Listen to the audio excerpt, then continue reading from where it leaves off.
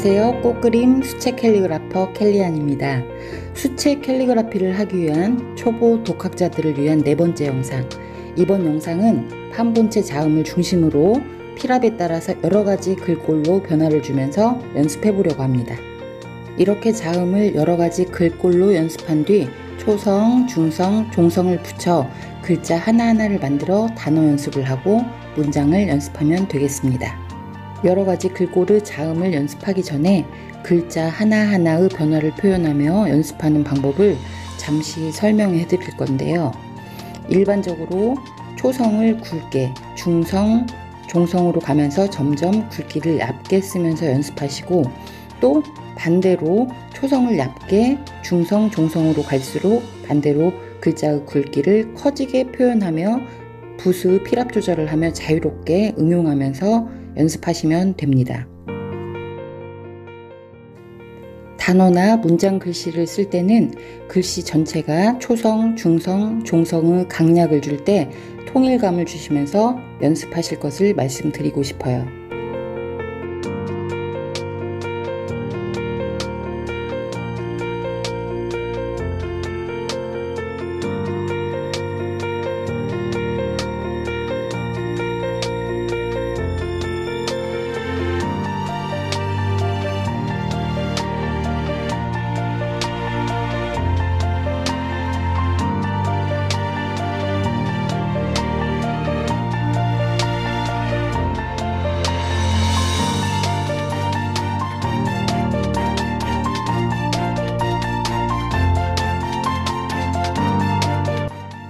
자, 이제부터 판본체 자음을 기본으로 써본 후에 피랍에 따른 여러가지 글꼴의 다양한 형태를 연습을 해보겠습니다.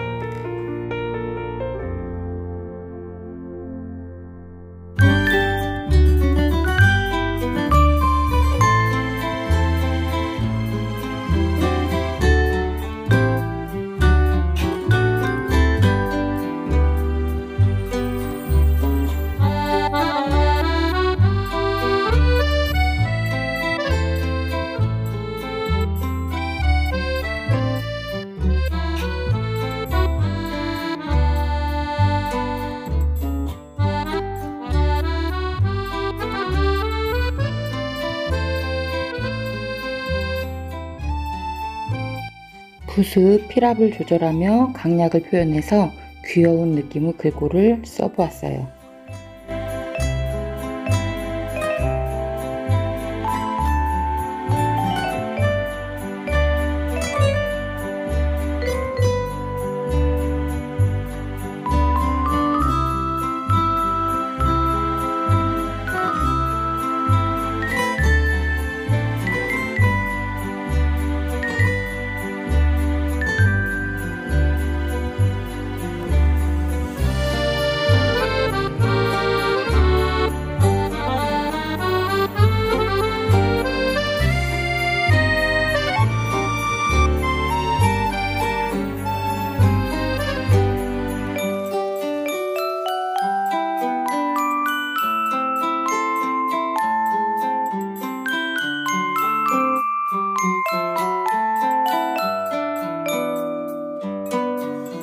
이번에는 글자의 리듬감을 표현해 줄 수 있는 기울기를 주면서 연습을 해 보겠습니다.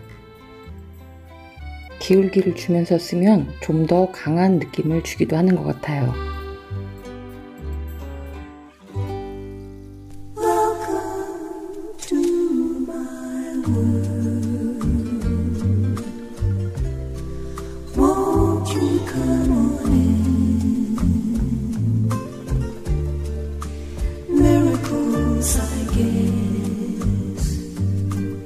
이번 영상에서는 붓을 누르는 힘인 피랍을 조절하면서 여러가지 글꼴 써보는 방법을 연습해 보았는데요. 다음 영상에서는 단어들이 모여 문장을 쓸 때 구도 잡는 방법을 준비해 보려고 합니다. 이번 영상도 도움이 되셨기를 바라면서 영상 마치겠습니다.